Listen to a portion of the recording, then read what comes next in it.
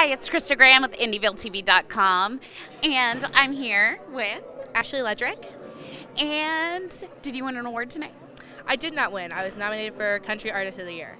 Congratulations. Thank you. Uh, to be nominated is like such a cool thing, don't you think? Yeah, and I was here in 2015 and I won um, Song of the Year. So I do have an Indieville award at home from the first one. So That's incredible. yeah, that's still cool to have that. We've got a first year winner, you guys. That's, so to be the third year back as a nominee, like, isn't that like, yeah?